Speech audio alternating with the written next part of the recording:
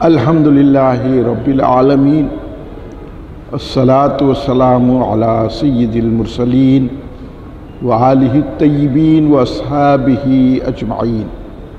اما بعد، فاعوذ باللہ من الشیطان الرجیم، بسم اللہ الرحمن الرحیم واعتصموا بحبل اللہ جميعا ولا تفرقوا.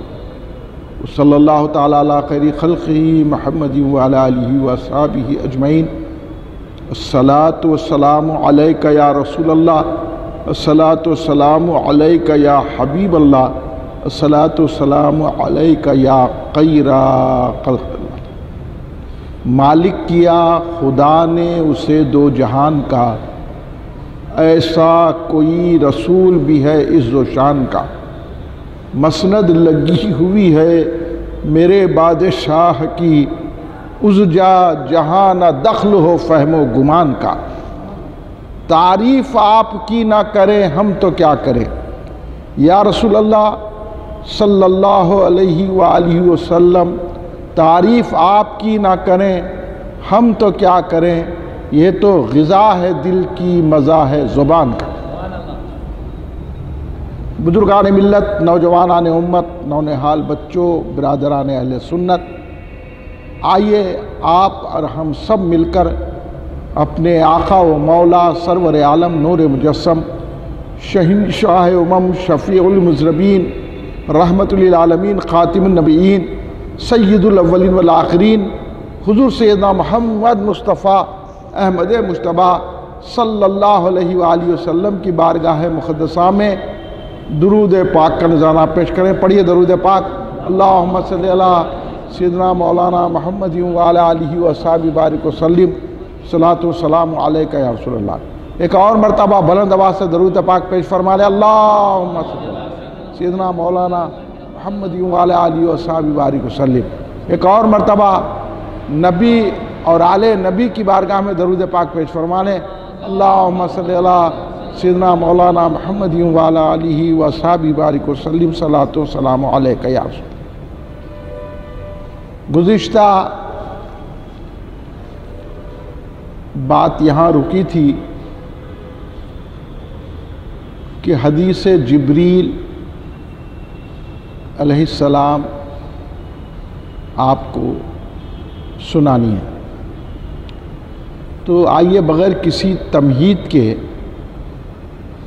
اب انشاءاللہ آپ ہمارے مولانا محمد باقر علی صدیقی صاحب سے آئندہ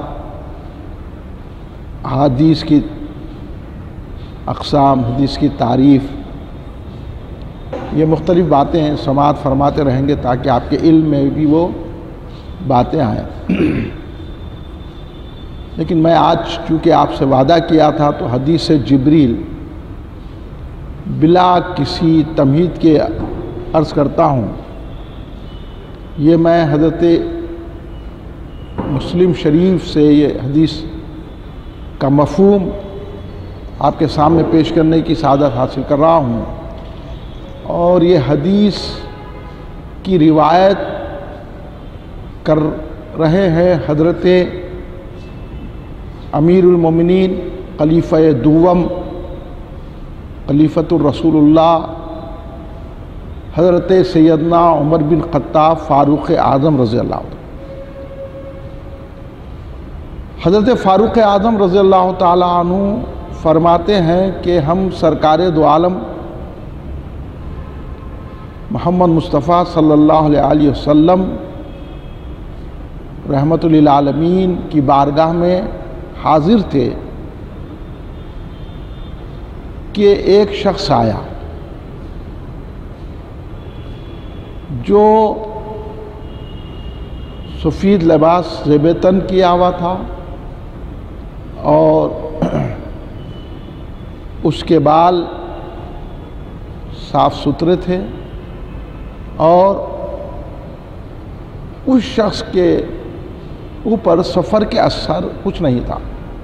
یعنی اس کا مطلب یہ ہے کہ جو شخص سرکار دو عالم صلی اللہ علیہ وسلم کی بارگاہ میں آئے، وہ مسافر بھی نہیں معلوم ہوتے۔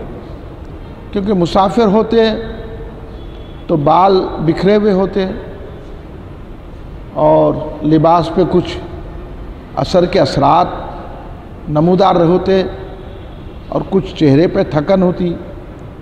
تو آنے والے شخص ایسے آئے کہ سفید لباس زیب تن ہے، بال بھی ٹھیک ٹھاک ہے اور سفر کا کوئی اثر نہیں ہے۔ وہ جیسے ہی سرکار دو عالم صلی اللہ علیہ وسلم کے دربار میں حاضر ہوئے، دو زانوں ہو کر بیٹھ گئے۔ اب دو زانوں تو آپ بیٹھتے نا، ادب کیا بیٹھنا؟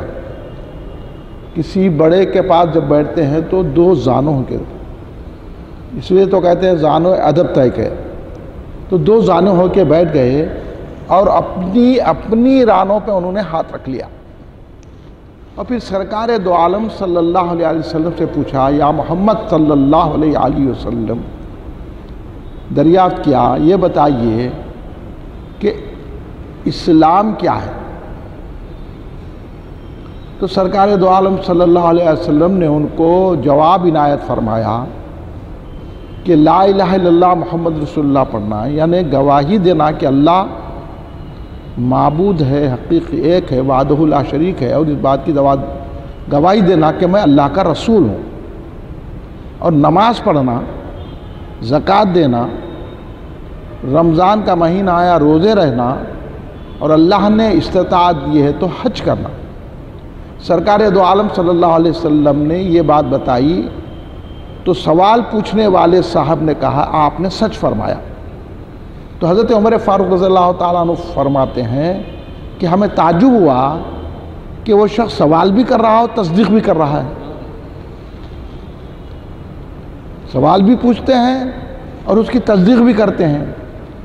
پھر وہ صاحب نے دوسرا سوال سرکار دو عالم صلی اللہ علیہ سے پوچھا کہ یہ بتائیے کہ ایمان کیا ہے؟ تو سرکار دو عالم ایمان خیر بھی اللہ کی طرف سے ہے۔ شر بھی اللہ کی طرف سے۔ یہ یہ ہے۔ تو پھر ان صاحب نے کہا کہ آپ نے سچ فرمایا۔ پھر انہوں نے دریافت کیا، یا رسول اللہ صلی اللہ علیہ وسلم، یہ ارشاد فرمائیے، احسان کیا ہے؟ تو سرکار دو عالم صاحب نے کہا کہ عبادت ایسی کرو جیسے کہ تم اللہ کو دیکھ رہے ہو۔ اور اگر یہی نہیں ہو سکتا ہے تو یہ سمجھو کہ اللہ تمہیں دیکھ رہا ہے۔ یہ احسان ہے۔ پھر انہوں نے سے آ کے، یا رسول اللہ، یہ بتائیے کہ قیامت کب آئے گی؟ قیامت کے بارے میں تو سرکار دو عالم صاحب نے کہا کہ سوال پوچھنے والا، جواب دینے والا دونوں برابر جانتے۔ ہیں